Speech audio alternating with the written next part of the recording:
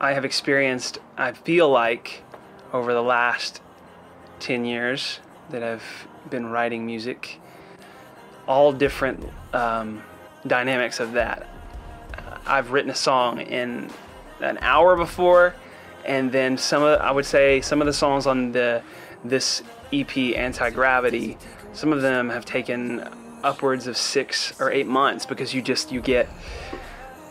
just infatuated with this idea of it of it being of it being and saying the perfect thing and, and melodically just being new and fresh and so all those things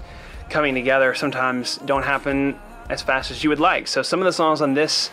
EP, the title track Anti Gravity, was over the course of the last six months, maybe even more. Oh my goodness, it might even be more than that. Um, because I was so like in love with the concept and really wanted to do it justice. And then a song like Solace, my wife Liz and I wrote that one. I'm just four to six weeks ago. We had taken a trip to the beach that day, came back in here, and we're having these thoughts about, you know, um, your childhood and feeling like you're you're overlooked and underestimated and, and all those emotions that everyone has felt over the course of their life, you know, as they walk towards their dream. And we were able to bottle those up and within the course of two or three hours write a song that not only am I proud of, but I feel like, you know, gives people kind of a, a way to um, feel like they're not alone in their in the struggle of life, you know, and that other people go through that struggle of, of feeling like they almost don't even matter or aren't seen. And so that's what kind of what Solace was about. It's about saying goodbye to to that former life of even really caring what those people that choose not to see you think and saying this is who I am and who I'm going to be and and you know I'm okay I'm made of of the mistakes that I've made and the shortcomings that I've had and I love that the the inspiration of the the idea um, it comes from like a, a kind of a, a, a lifelong obsession with all kinds of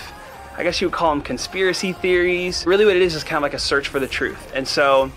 you know, there's people out there that say, you know what, that, that we have technology that exists that maybe we don't let the public have because we don't feel like we could trust them with it, or that our economy might crumble if we had new types of fuels, or whether it be technology or a new way of thinking, um, a new way of kind of giving people freedom is maybe held back because other people don't trust that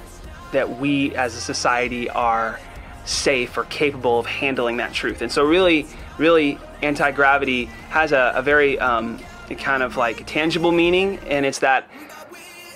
I think maybe we have technologies that we have come across and that we kind of keep under the rug because we're afraid that if people know this is possible, that humanity won't be able to handle it,